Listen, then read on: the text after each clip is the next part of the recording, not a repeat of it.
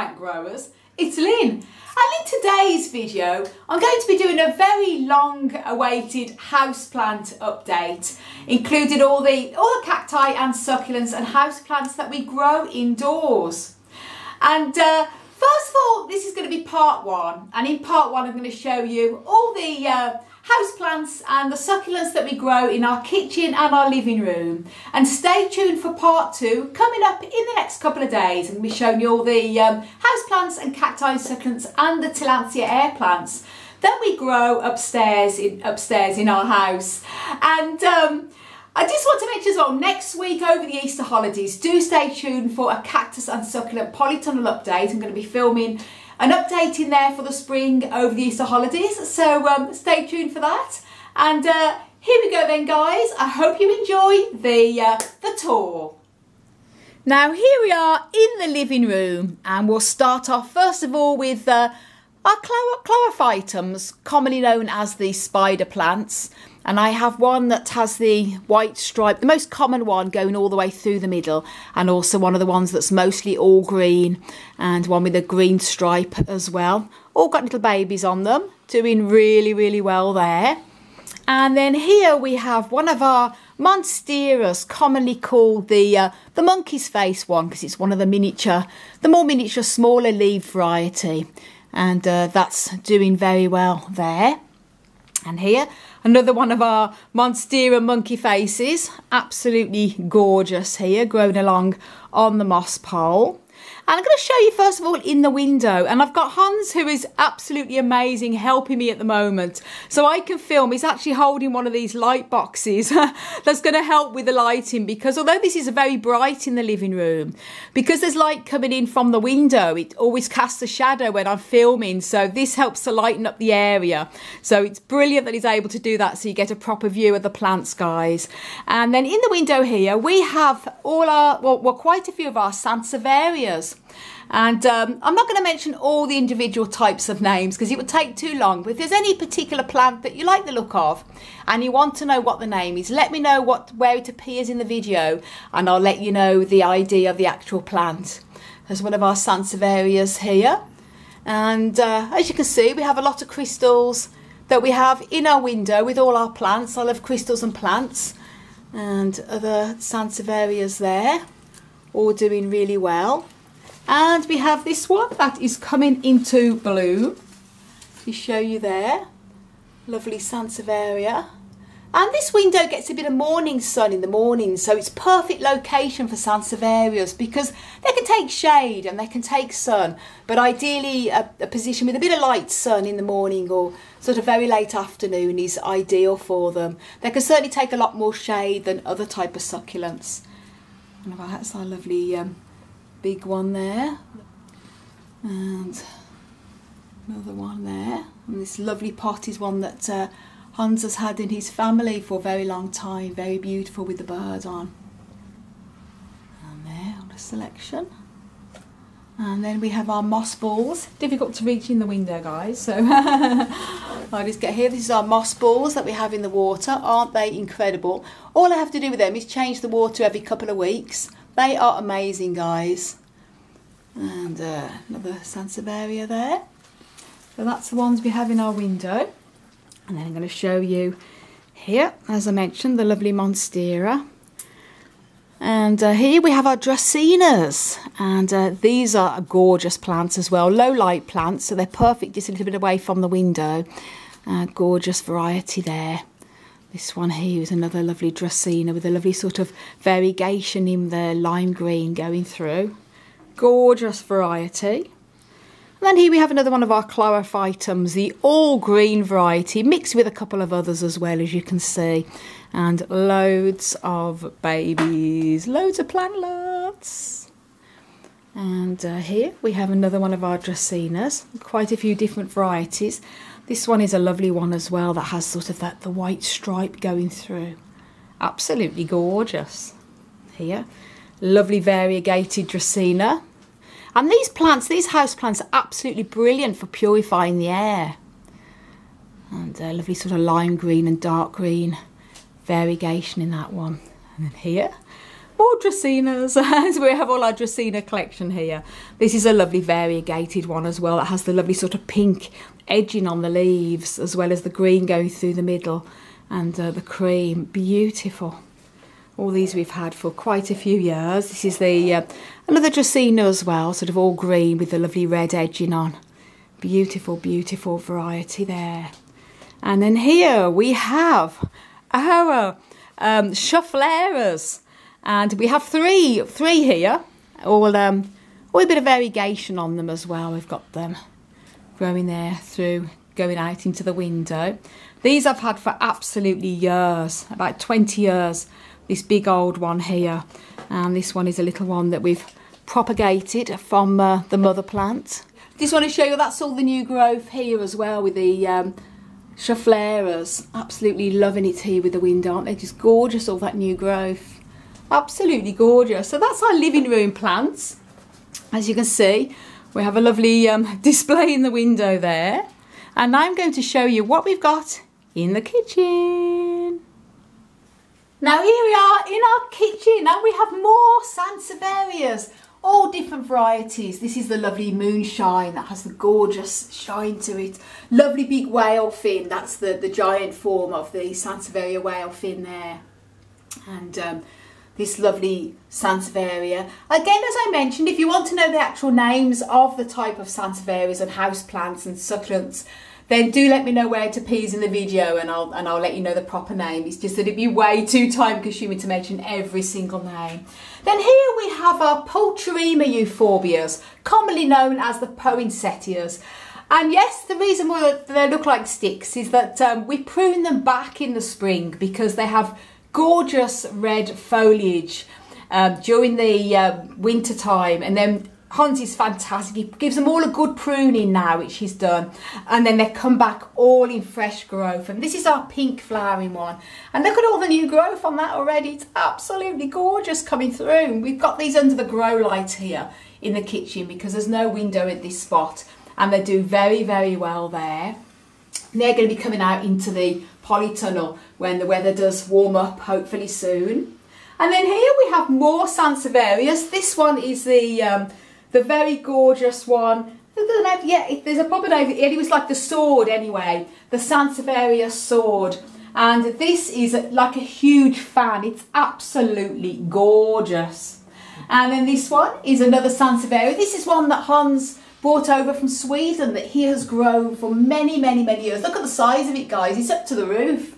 Beautiful. And happy to say this one is also coming into flower as well.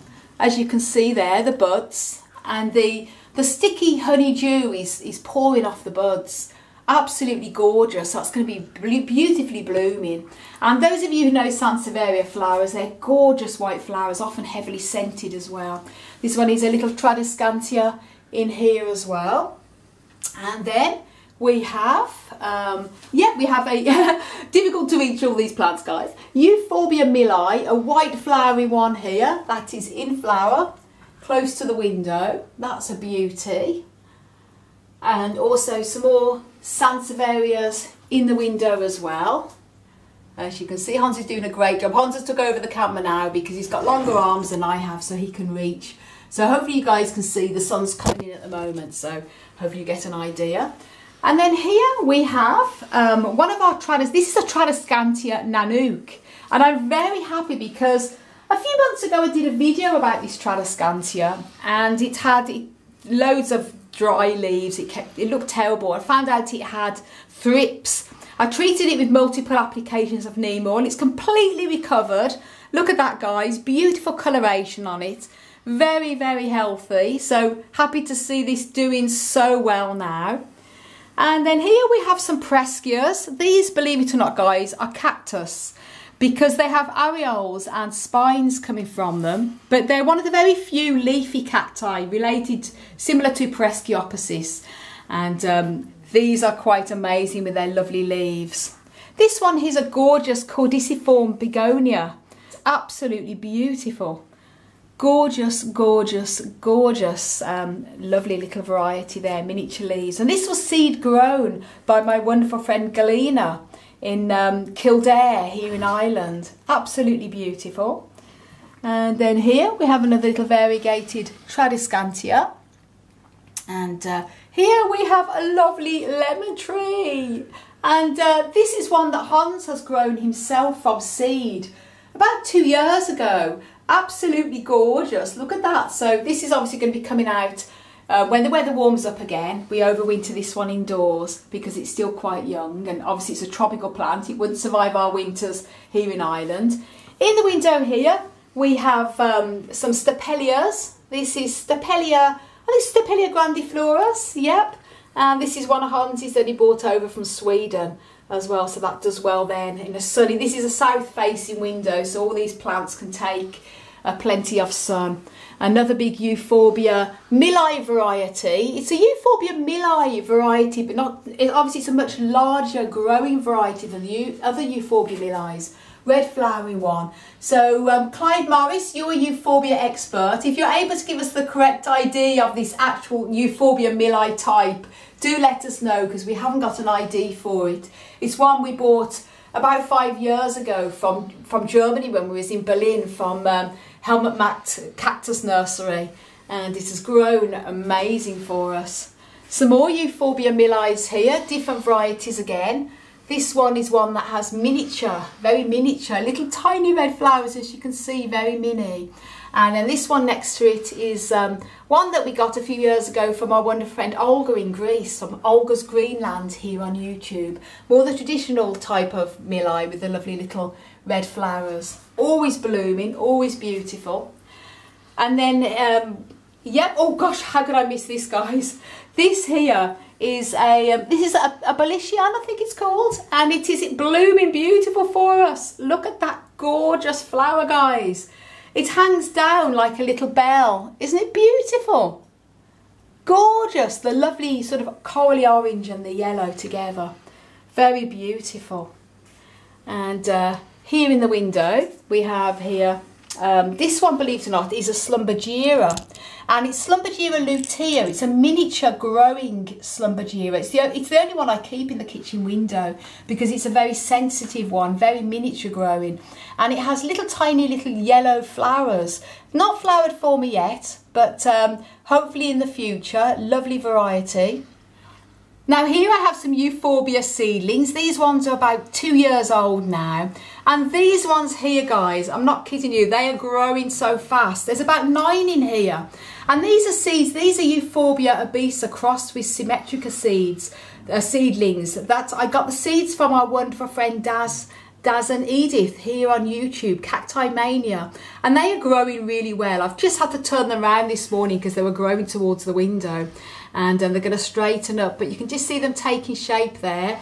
Probably only about six weeks to two months at the most old and they're doing really well. These are our other Euphorbia obesas in the window there. I sort of love these plants. These I've had for absolutely ages, guys. Um, I think I was about 23 when I got these three Euphorbia obesia, so a very, very long time ago now. This is a Euphorbia meloformis, an obesia type, but it has more sort of like...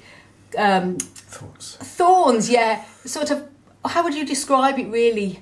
Like papery almost, like cardboardy. Quite different to uh, the, the usual Euphorbia obesa types that don't have any of the, the thorns on them. This is oh. Euphorbia uh, globosa crossed with obesa. Mm. Lovely um, multi-clumping variety there. This one here is the dead sticks plant. Uh, Euphorbia platyclada. It's, it looks like it's dead, but it's not, guys. That's actually how this plant is supposed to look. And it's blooming. and it is blooming. The blooms are absolutely tiny on it. It's probably got the most smallest bloomage you're ever going to see on a euphorbia or any plant come to that. Absolutely gorgeous. And then here a mixture of all our different euphorbias, many different types there, all different varieties. And uh, all our miniature ones. This one is a little Rhipsalis variety, but all the rest are euphorbias, and this one is a little Rhipsalidopsis rosea cutting and uh, Pinio, uh, Pinio seedling there. And this one, I have to take the label off to check the name of this. This one is a um, Cyanatrum.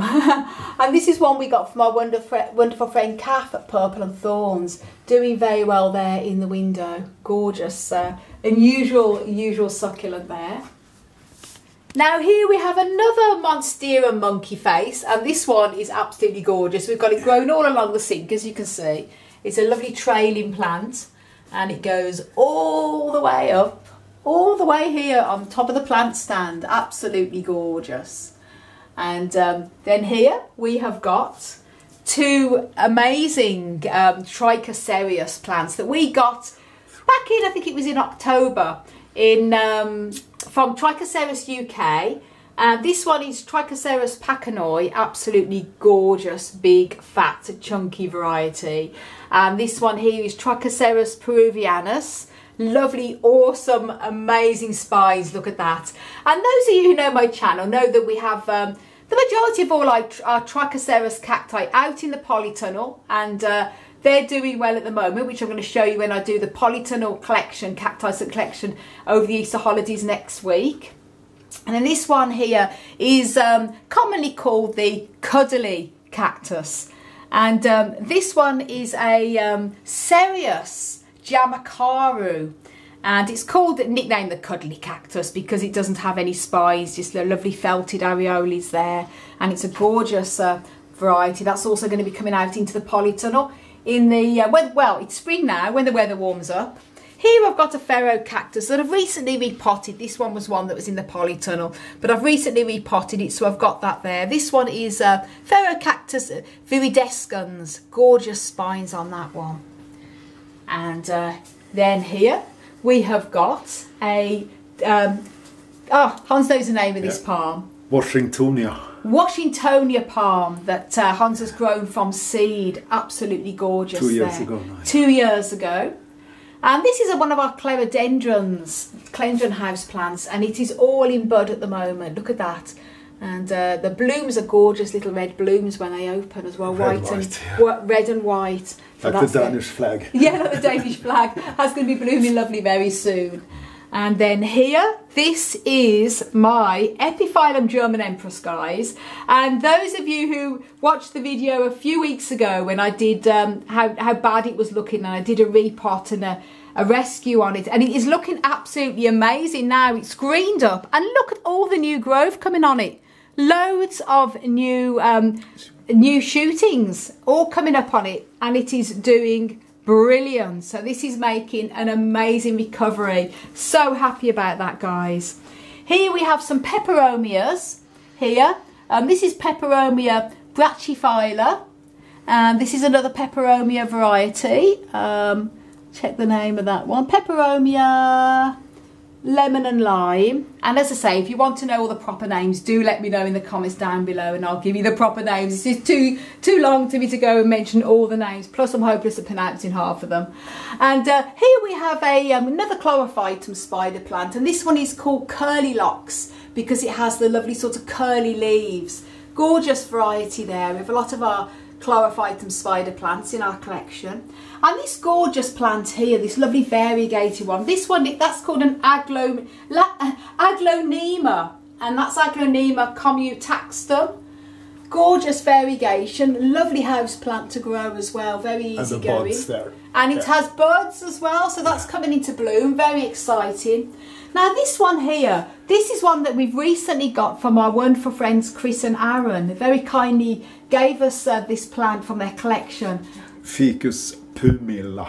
Ficus pumila. It's absolutely gorgeous plant and it's thriving in our kitchen here. It loves that uh, part sun, part shade position there. So, um, and then I'm going to show you here, we've got our little kitchen table. We've got, yes, guess what guys, another chlorophytum spider plant. And this is the all green variety. And this is actually one I've grown from seed, from um, the seeds from my other chlorophytums. And when you grow them from seed, they always grow all green, by the way. Um, they don't grow with a variegation because only the plant nuts will grow like that from a variegated plant. This one is another peperomia here. And this one is Peperomia, Peperomia pereskiifolia. Gorgeous variety there. Lovely succulent. And this one is my Ludisia discolor orchid. And I have some more orchids as well in my grow room, which I'll show you in the part two video in the next couple of days. Um, this one is Ludisia Discolor, has gorgeous leaf colouring, as you can see, like a lovely burgundy colour with lovely white um, stripes going through. Beautiful orchid, very easy going. It's an orchid that does like to have a more indirect light position, right, does well there. Then here is our um, Zamiocolia, the Zamifolia, and commonly known as the ZZ plant. And uh, we have two of these. These are plants that Hans brought over from when he lived in Sweden. He's had them many years. Do very well for us here in our kitchen. Again, this, this succulent is one that does like a bit of shade and indirect light, which is why it does so well here. The, loads of uh, new leaf coming up on there. Lovely growth. Beautiful, beautiful plant. Here we have a, another Tradescantia and uh, this one, I don't actually have the name of this Tradescantia, but it's a lovely sort of large leafed growing one and um, nice sort of dark dark green and lighter green variegation in it. It's packed with flowers and the flowers actually open up overnight time, so you've missed the flowers, guys. And um, obviously overnight it's not practical to film, but this has lovely little starry white blooms on it. It's a gorgeous, gorgeous plant. Again, loves a, a shady position or a position with um, bright, so a position with indirect light. This one here is another begonia that we have, and this is begonia alba picta absolutely gorgeous plant. Has a little spotty green and little tiny spots all along the leaves. And a very easy going plant as well. Uh, lovely lovely lovely coal blooms that hang down. Beautiful plant. And it's um, male male uh, flowers. Here is the male flowers. And there is the female flowers. Wow. so and they are easy to propagate as well. And uh, we have seeds here from them. Here you see the seeds, it's like dust. Here is about 10,000 seeds at least. Wow. That's yeah. a lot of begonia plants, guys. we love dates, you know, and this is a date palm, uh, Phoenix dactylifera grown and from this, dates. Yeah, and it's uh, about two years now. It's a lovely one. Beautiful. That's going to be coming out into the garden in the yard. Yes. Spring, when well, it's spring now, but when it warms up, I should say, guys. Now here on our back wall, these are all plants that prefer to have more, again, bright but indirect light. And uh, I'll start on the top first of all. We've got on the top shelf, we've got a selection of different types of ferns and uh, they grow really well up here because I say it's a shady position but bright and they, they seem to love that position there. They have these lovely stems above the surface. Oh yeah, they're lovely furry Hair, um, yeah, rhizomes. They're yeah. lovely, aren't they, with the lovely ri really uh, hairy rhizomes. And the little Tradescantia variety we have here. And uh, Traditional Nephrolepis. Yeah, Nephrolepis fern, yeah. commonly known as the Boston, the Boston fern. Yeah, yeah. And here we have another Tradescantia variety. And this is one that Hans brought over as well from Sweden. And this is the Tradescantia spathacea. And it's a large growing uh, Tradescantia, huge. You can see the size of my hand compared to it. Beautiful, beautiful variety and um, the underneath purple, of the leaves yeah. are purple. Look at that, it's just gorgeous. And it makes an incredible house plant. And here we have a more co very common Tradescantia, commonly known as the, the Wandering Jew. This is Tradescantia zebrina and has a lovely sort of deep purple stripe going through the middle of lovely coloration and it is blooming for us. Look at that little bloom guys, isn't it just gorgeous? And then here we have a clivia and uh, this is a plant that we got uh, quite a few years ago from our friend Olga in Greece, from Olga's Greenland here on YouTube, doing very well for us. And then here um, we have, uh, this is a, a philodendron and this is one that Hans also brought over from Sweden and it's growing incredible as you can see. It's a lovely trailing plant and it loves shade. This is a plant that doesn't do too well in bright sun. We had it when when during the middle of the winter, the sun comes right through into this room, and I think that's why it was getting a lot of the dry tips, as you can see. starting to green up really well now because it prefers a shady spot. So these are on the floor. And um, here, a Stephanotis floribunda. And this one is one that comes out for the spring and summer when it warms up into the yard because it loves a lot of sun. Now here we've got some Pereskias and this is Pereskia godseffiana and this is actually a cactus. As you know we had some smaller ones I showed you earlier by the sink. And this is a plant that comes out for the spring and summer months out into our yard because it loves a lot of sunshine. And we've purely only got it here in the kitchen just because we overwinter in it. And it's not quite warm enough yet to put out for the spring and summer but it's going to be coming out very soon once the chance of all the frost has completely gone away and different varieties as well here of Pereskias. And then this one here is an absolutely gorgeous fern, one of my favourites. This is called a, um, a Davallia fern. And again, it has one of these, these well, lots of these amazing, gorgeous rhizomes. And they're hairy. It's absolutely beautiful. And this is actually the, the, the, plant in there, and it's just overtook the whole of this plant here, where we have another Stephanotis floribunda growing in. It's absolutely awesome. This again also comes out into the yard for the summer in a shady position because it can take plenty of rain and it does very well out in the garden in the, the spring and summer months. Here's another Pereskia here, again Godseffiana one. They look a little bit limp at the moment, but they pick up when we take them out into the yard, when the weather warms up for spring and summer, they really come into growth and really, really start growing well. Again, another uh, Pereskia here. This is Pereskia dias romaniana, has beautiful pink flowers in the summertime. So hopefully that will flower again when we take it out this year. And then here is another philodendron. As again another lovely growing uh, variety. This is the same one as the other one we showed you. Again does really well here. And here on the stand we have Beaucarnea uh, Beaucarnea um, and uh, two of these, this is one that Hans has had a very long time that he took over from Sweden. Lovely big uh, caudex on these. And these are, are sunny sun lovers, so these are only overwintering here at the moment until it's warm enough to put them back into the yard for the, the spring and summer months. But they overwinter well here, they get plenty of light. And then here on the plant stand, we have got um, Tradescantias. We've got a mixture of everything on this plant stand. And this plant stand is one that we recently got given to us from our wonderful friend Sean. Uh, Rambles with my camera here on YouTube. And uh, we have a lovely sort of purple growing Tradescantia here, hanging all the way down. Again, these plants sort of love a bright, but in, can take indirect light as well. So they're, they're, these are going to be staying here all the time. And this is a lovely variegated um, long growing Tradescantia as well. They make lovely hanging plants. And here, this is another lovely um, variegated pink and green variety of uh, Tradescantia. Lovely there, look. And this is a little miniature leaved, green growing little miniature leaved Tradescantia. Don't know the exact name of these type of Tradescantias, so that's why I'm saying that's a green type and this is a variegated type. and here we've got some Phalaenopsis orchids, some more orchids, different types of, uh, it's got white, pink and all different coloured flowering Phalaenopsis there. And they do well there because they're in a bright again, but indirect position, which phals love.